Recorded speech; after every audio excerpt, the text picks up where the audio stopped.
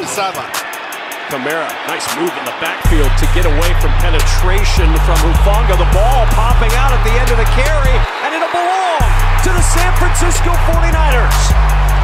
Kamara coughs it up. DeMeco Ryans loves what he sees from three. Loses the ball. Akers losing it. Big pile up. Raiders think they have it. Opposition over. Fields, Claypool, blockers ahead, blown up out there. Nice play. They blew it up for Miami. Well, I don't think you'll ever hear it cheer for a one-yard gain as loud as that was. Raiders must get to the 47 for a first down, and Waller unable to make the catch.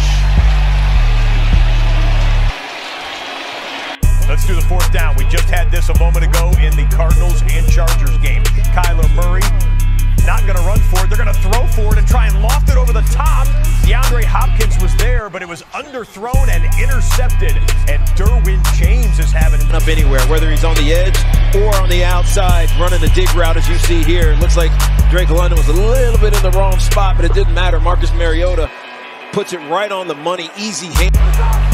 Brings up first and goal. Taylor dropped it, and Matt Ryan is there. Where he's become. You know, Pickett does the same thing if you're a Steelers guy. Third and three. Why did he wait long to go? And Harris is going to be two yards short. Out. The Miami Dolphins, since they put in their backup quarterback, have gone three and out, three and out. Meanwhile, the Texans are bombing it downfield with nothing to lose. Brandin Cooks hauls it in from Kyle Allen. If the Texans